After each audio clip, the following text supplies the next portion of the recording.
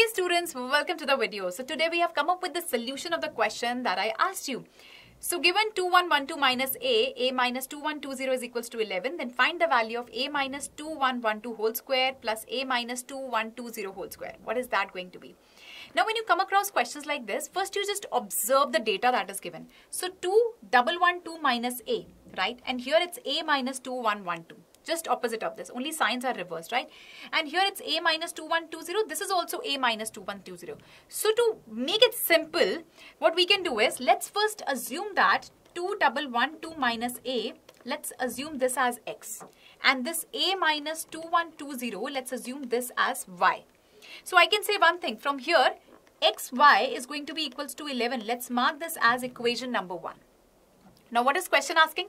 Question is asking us to find out the value of this. So this is nothing, it is just opposite of this. If I take minus sign common from here, what is this going to be? If I take minus sign common from here, Again, if you take minus sign common, the signs inside the bracket changes. So that means this 2112 which is negative, I mean which is positive here, that becomes negative and this becomes positive. That's going to be a minus 2112 right? So simply I can say, I can say that this is basically nothing but that's minus of x square and this is actually plus y square.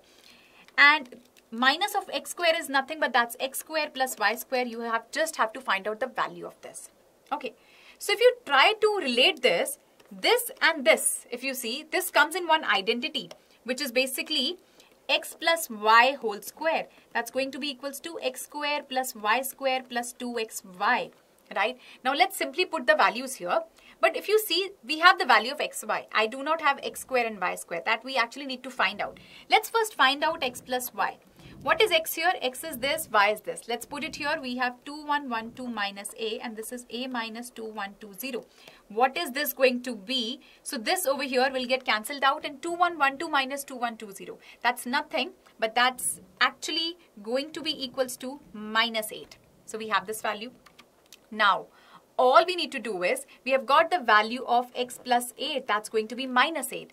Let's put it here in the equation. That is x plus y whole square equals to x square plus y square plus 2xy. Let's put everything here, whatever values we have.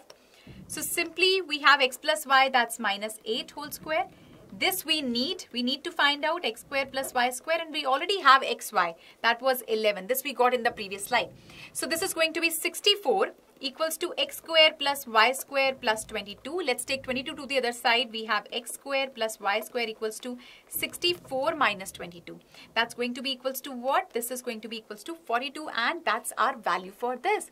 See, initially this question looked so tricky, but we solved it so simply. All we did was we just assumed it. We used the basic algebraic identity to find this out. Nothing new, right? Now, you can also try out questions like this and leave a comment for me in the comment section. How you like this question?